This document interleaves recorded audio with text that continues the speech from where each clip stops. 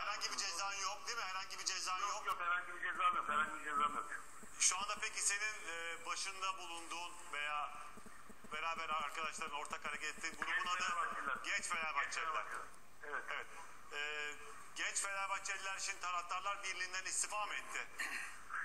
Taraftarlar bir istifade değil mi? Şey, şimdi taraftarlar bir derken bütün tribündeki gruplara zaten beraberiz. Kardeşiz hepimiz ama şimdi herkes Taraftarlar bir lafta, kağıtta kalıyordu. Biz de artık bağımsız hareketli karar aldık. Yoksa herhangi bir sorun yok kimseyle.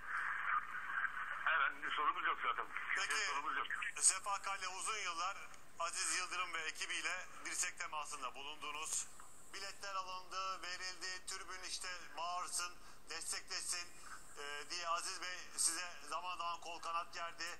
Siz Şimdi zaman zaman Evet. onunla inanılmaz derecede iyi diyaloglar ve ilişkiler içindeydiniz. Ne oldu? Ne oldu? Ne, ne bitti de bir anda yollar farklı yerlere ayrıldı? Serhat Bey lafım, kes, lafım kesilmeyecek değil mi inşallah? Yo hayır, sözü size bölüyorum. Niye kesilsin?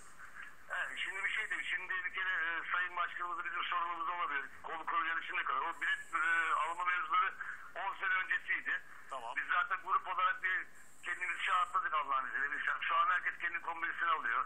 Pa- Parasını verip maça gidiyor. Artık yani olması gereken taraftar gibi olduk. Yani zamanında bizim de gerçi geçmişte hatalarımız oldu ama o kulüpten biri tanırken ba- bana bağırın diye alınmıyordu. O zamanki sistem oydu. Her kulüpte vardı. Ama Allah izniyle şimdi olanlar kalktı. Şimdi mesela e, protesto falan dediniz. Dünkü protesto olayı mesela dediniz galiba.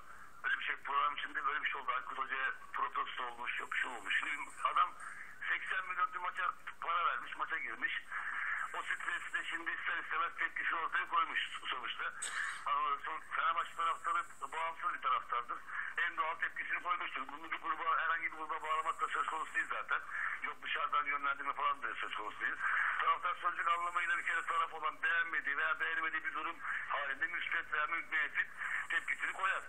Burada önemli olan nokta doğru ve doğru, doğru zamandır yani. De bence dün de ister istemez insanlar tepkisini koymuştu. Bunu herhangi bir şeye bağlamak lazım. Aykut Hoca da sonuçta Fenerbahçe'mizin hocasıdır. İnşallah onun hakkında ileride hayırlısı olur.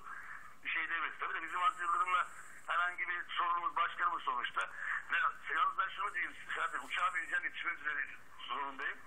Ben size sözlerle bağlandım. Ben orada iki tane hadsiz karaktersiz Fenerbahçe düşmanı olduğu sürece ben zaten programımıza katılmazdım. Ben sizin hatırınıza katıldım. Bir dakika bir dakika anlayamadım. Neydiniz? Bir de orada tane orada karaktersiz Fenerbahçe düşmanı var. Şov yapan insan. İyi günler diliyorum ben size. Ben kapatmak istiyorum.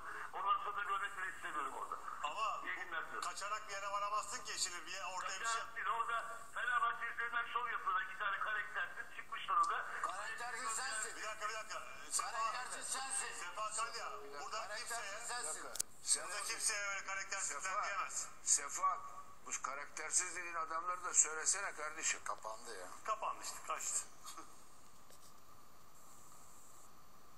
Neyse biz kendi işimize bakalım. Böyle e, bir şeyler atıp ortaya kaçanlar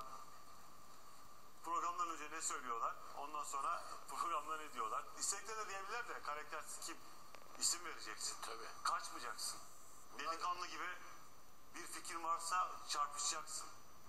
Öyle var mı? Lafı söyle, telefonu kapat, konuşmak istemiyorum. Bunlar hepsi cepten bağlı kişiler de bunlar sen ne bekliyorsun ki? Bunlar hepsi cepten bağlı kişiler ya. Türbün lideriymiş bunlar. Hepsi hikaye. Hepsi hikaye. Hiç önemli değil, boş ver. Terbiyesiz. ya söylemeye bile gerek yok. Neyse. Biz Fenerbahçe'yi konuşalım.